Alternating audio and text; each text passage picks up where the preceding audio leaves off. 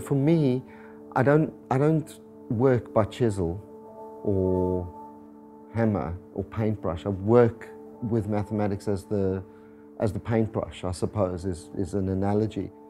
The teams of programmers that over 20 years have written the software that I needed to use, um, the millions of lines of code that needed to be produced and tested, the, um, the, the, the mass of technology and human ingenuity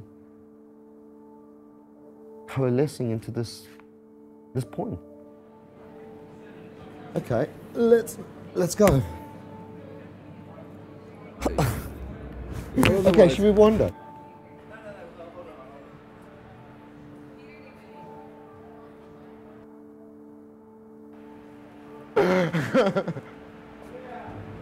so, so basically, um, we live in an age where computational power has overtaken the capabilities of the human brain.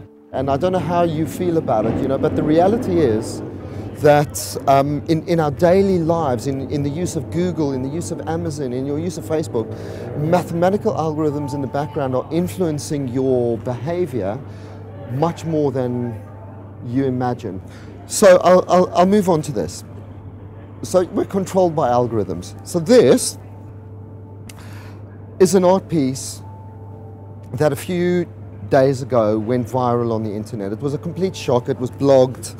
Um, and suddenly the whole thing went absolutely crazy. And so this is a piece of mathematics. And, and in a way, it represents this moment in human history. This art piece is like a, it's a welcoming message to the Pi generation. What's your interpretation of it, man? What do you think? When you see that, what do you think?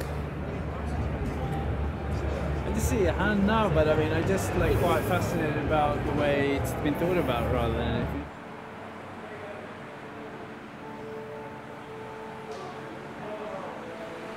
And so actually a piece of art isn't made by a single artist, but it's a collaboration between a whole lot of people with amazing disciplines, you know.